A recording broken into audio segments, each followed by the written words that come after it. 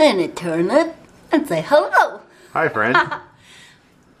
Hi, friends. So, friends, we get a lot of requests for us to do more meal preps. So, we are doing another one for you. Um, a lot of you guys say that it's really motivating to see us do meal prep, and it often motivates you to meal prep as well. So, we figured you could meal prep along with us. Losing weight, it's not just a physical thing. It's here and it's here.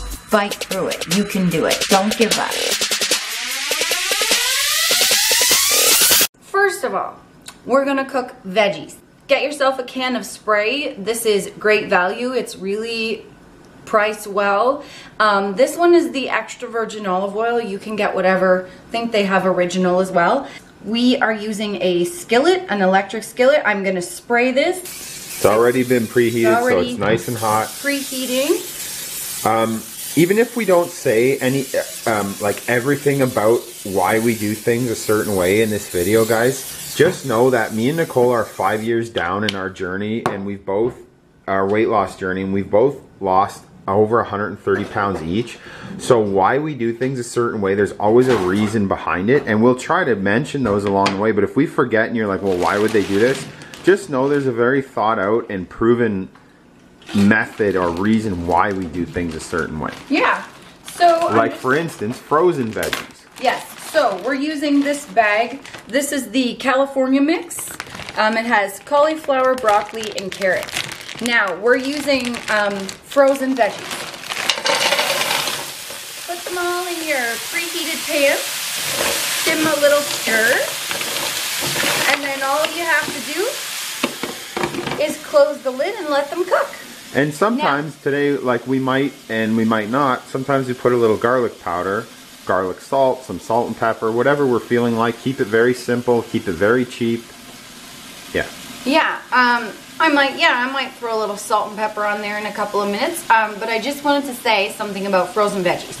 So, this meal prep and all our meal preps are always about the quickest, most budget friendly way to do things. Because Kyle and I, um, we work really long days in between all of the things that we have going on in our lives.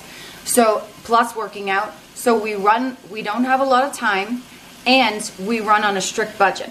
So, um, that's what these are all about fresh veggies from the grocery store, they often, you know, they might be fresh, but they're not going to last you a week or two or whatever. Their shelf life is very short. And they're often expensive, especially, especially here in Canada, in Ontario, they're pretty expensive.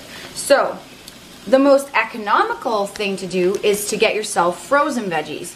This whole bag costs $10 and this will do us for more than um, six meals each. This will take care of like two weeks worth of meals. And in Canada, when you have seasons and you have prices like we do, we were just looking at the grocery store yesterday. Uh, a couple heads of lettuce was like six, seven dollars.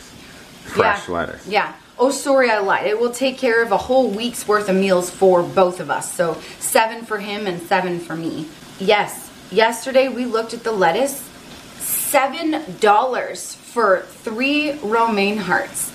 And you know that is way too much for the amount of veggies that we go through. Um, Ten dollars, and we have our entire.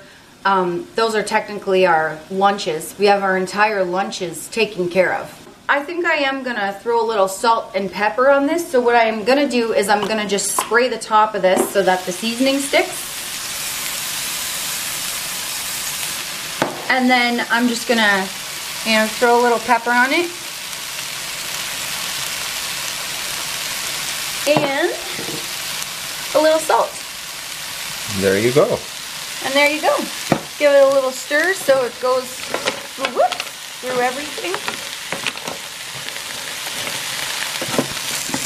And there you go. This is what you call um, a Hank freebie. I'll just pretend that it landed on the floor and he can discover that later. And this is what we call simple, easy, and cheap. You set it and forget it. Now Yeah. we can move on to our next step. Yep.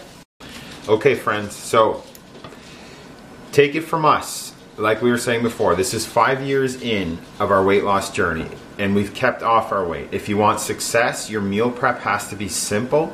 For us, it has to be cheap. You will not stick to a complicated, expensive meal prep, even if you have all the money in the world. The time that it takes to prepare complicated recipes, we just have found that um, the likelihood of success is not good for a, uh, a really complicated, expensive, long term meal prep. Now, let's move on to our meat. In Canada, and I'm sure in other places around the world, meat is very expensive. This is about three to four dollars a pound, and it's just ground beef. So take cheap meats. If you need, and I'm going to show you that usually the higher fat content ground beef is even cheaper. So this is lean. I know you can buy extra lean, but the extra lean was more expensive. So we went with lean ground beef. I'm going to show you how to cook it and make it almost fat free, probably 90 to 95% fat free with a strainer. Get yourself a big pot. Like we said, we're cheap, simple, easy, and the most important, effective meal preps. Get yourself a massive pot. You're gonna heat it on about medium heat on the stove. You're gonna throw your ground beef in there, cook it till it's brown, and then I'll show you guys how to strain it after. And you always ask about how we season our meat. You say it looks good with all the seasonings for our chicken or our beef. We go with whatever's on sale as far as like if chicken's on sale one week, we'll stock up and put it all in the freezer. If beef's on sale, we'll go with beef. So I'm going to show you now our seasonings because you guys always are curious about our seasonings.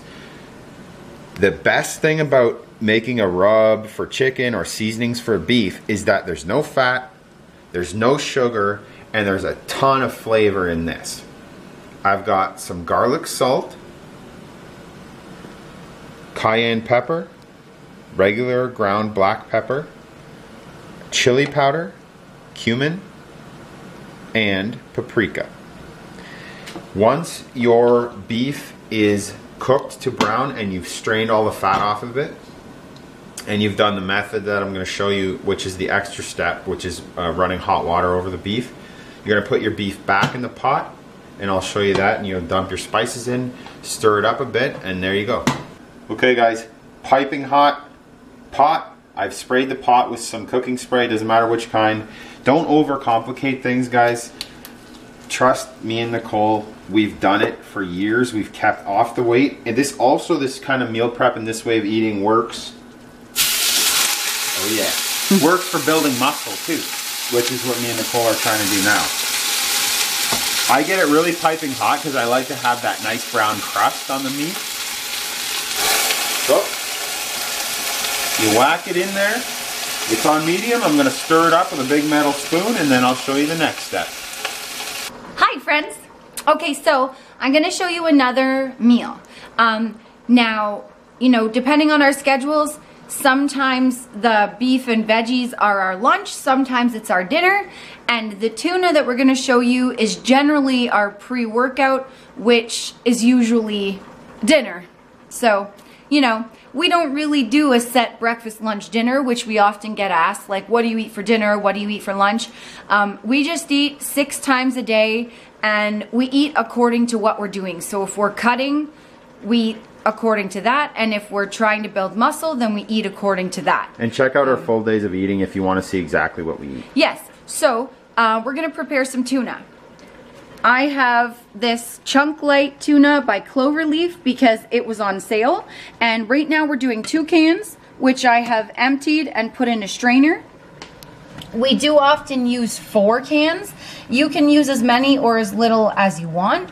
Um, We're showing you a method on how to do it, prepare in bulk, the fastest and easiest way, which is why we want to open up all our cans, throw them in there, and drain them all at once versus pressing with your thumbs, draining every can by yeah, itself. one at a time. This is so much easier. It was actually Kyle who discovered this genius method of doing it quicker.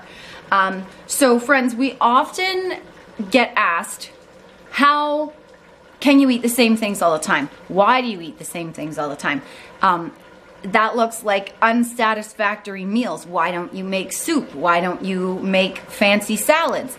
Well, the reason is um, this is how we keep our weight off and build muscle. It's cheap, easy to prepare, Um, it works. It's, yeah, it's quick. And the big reason it works. For our brains, having a structure during the week of very similar foods every day works for us. When we go different, if we want soup, if we want a cool salad, we eat it on cheat day. That's what cheat day's for, for all the fancy stuff. During the week, it's cheap, easy, quick, what works to help us build muscle, to help us stay on track. That's what it's for. So, you're gonna take just a couple paper towels, fold it up in half, and you're just gonna press down on your tuna to push out all the liquid to drain it to drain it out.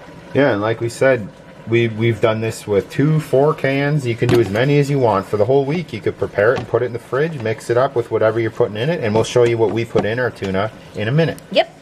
Okay, friends, so the reason I said before is buy whatever cut of ground beef is the cheapest. You can get regular ground beef. You can get lean ground beef, extra lean. Get whatever's cheapest because in a, a, minute step, I'm going to save myself money and I'm going to drain the fat. I don't need the store to drain the fat for me. So the beef is browned. You're going to get yourself a strainer and put it in the sink. You're going to dump your beef in there. Then I already have, like, our water's already hot. I already preheated this water. is already, like, boiling hot. You're to take your really, really hot water and you're to just mix it around and you see all the fats coming off that at the bottom. You can kind of see in the sink, all the fat is coming away from that.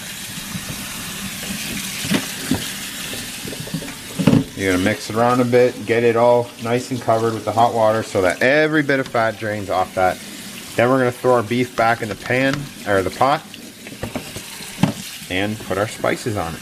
Okay friends, take your spices, put your beef back in the pot, and Bob's your uncle. Give her a nice stir, cook it another couple minutes, and your beef is done. Like dinner. Like beef dinner. that looks nice. Yep. Also, friends, for a little kicking up action, a little sriracha sauce in there right before we take it off the heat. Just to your liking. There you go. That's good. That's the squimp your face up as squimpy as you can. Face. okay, so here's the beef. This is what it looks like when it's done and seasoned. And to drain any last bit of fat, we put just one layer of paper towel. It's just like two or three paper towels underneath. And that's what the veggies look like now that they're ready to go. We do not cook them 100%. We like them a tiny bit crispy just because we, are not really fans of mushy vegetables. Plus, if you undercook them just a little bit, you do keep more nutrients that way. Um, now let's move on to the tuna. So it's all drained and ready to go. And I have two bowls here. We also use containers if we're prepping for another day, but today we're just prepping for today. When you're prepping for more, or if you need, you know, if you're prepping for a whole week or whatever, these are the containers that we put our tuna in. Um, it's just what we've had available. These are from Walmart. They're Rubbermaid. And I think I got 10 of them for eight bucks. So they're really good. Um, so what I have, how we season our tuna or make it taste better. Right now, there is one chopped dill pickle in each bowl, uh, medium size. And these are the Polskie, I'm sorry if I say this wrong, Ogórki.